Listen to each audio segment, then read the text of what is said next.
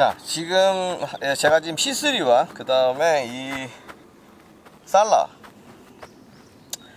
어, 제펜 두 제품의 어, 전족부 미드솔, 전족부 미드솔의 높이, 그 다음에 뒤축의 높이차, 그 다음에 뒤축의 쿠셔닝성을 비교해 보기 위해서 어, 지금 실험을 해볼 예정인데 지금 제가 신고 있는 두 제품은 에, 미즈노 의 느낌 차로는 미즈노가 발을 전체적으로 더 잘 감싸고 있는 느낌이에요.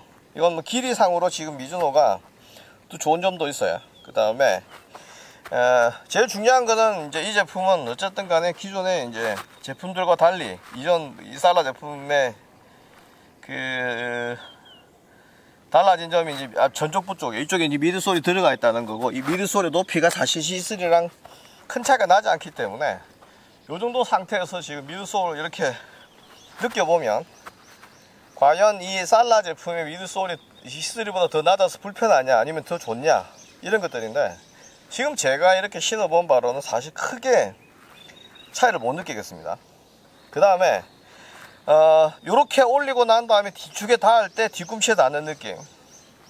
이것도 일반적인 뭐 아식스 FlyteFoam이 들어가 있는 경우와 그 다음에 미즈노 에너지 사이에 어, 이 자체가 크게 뒤꿈치에 닿는 느낌에 크게 차이를 못 느끼겠어요 그 다음에 뒤꿈치인데요 뒤꿈치에 인위적으로 이렇게 지금 제가 쿵쿵쿵쿵쿵 하면서 발을 굴려서 뒤꿈치에 cushioning을 지금 체크를 해보는데 부드러운 건 아식스 쪽이 또 부드럽게 미세하게 그렇게 느껴요. 선입견인지 모르겠는데. 이쪽 지금 아시, 이 미즈노의 에너지는 지금 이렇게 때리게 되면 이게 충격은 흡수가 되면서 약간의 딱딱한 느낌이 있어요. 이쪽은 사실은 전반적으로 조금 더 부드러운 느낌이고 이렇게 때려보면. 이쪽은 약간 더 단단한 느낌인데 단단한데 그냥 단단한 게 아니라 탄성이 있는 미세한. 그 이건 뭐 제 선입견일 수도 있는데 일단은 그렇게 느끼는데 그렇다 그래서 뒤꿈치 쪽에 두, 두 쿠션상에서 경기력이나 아니면 부상을 예방할 정도의 쿠션상의 차이가 있냐? 하면 그렇지는 않다. 그러니까 두 제품은 어떤 거를 구입하더라도 만족하게 신을 수 있는 조건들. 어퍼의 조건 캥거루 가지고 사용되고 있고.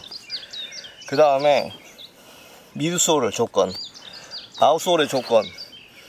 이런 것들이 거의 차이가 없다. 예, 다만 발볼 쪽 last의 hold성 이런 것 측면에서 어떤 게 좋으냐 맨발 감각 쪽에서 어떤 게 좋으냐 이런 차이는 남는다 지금 이렇게 만져보면 사이드 쪽에 인조 가죽의 두께 여기 이 두 제품의 지금 인조 가죽의 두께를 이렇게 만져보면 이 두께 상에도 사실 차이를 느끼기가 힘들어요.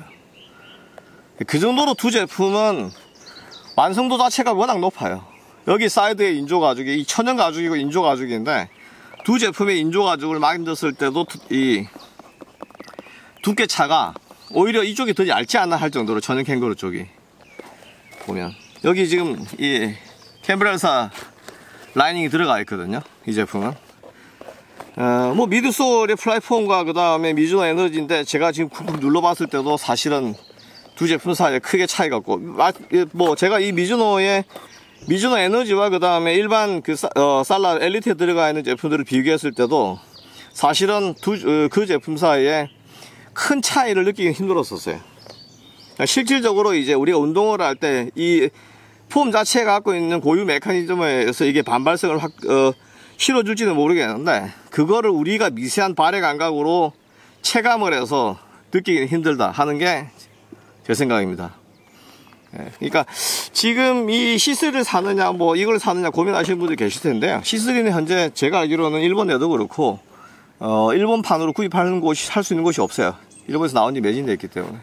그러면 지금 우리나라에서 쉽게 구할 수 있는 이 모렐리아 살라 제펜 제펜 아니면 제 돈이 조금 없으시면 그냥 엘리트로 가셔도 될 것 같은데 이 제품이 현재 우리나라에서 살 수 있는 제품 중에서 어, 소위 TFR로서의 그 여러 가지 점을 고려했을 때 가장 개인들의 만족도를 높여줄 수 있는 신발이 아닌가 하는 그런 생각이 듭니다.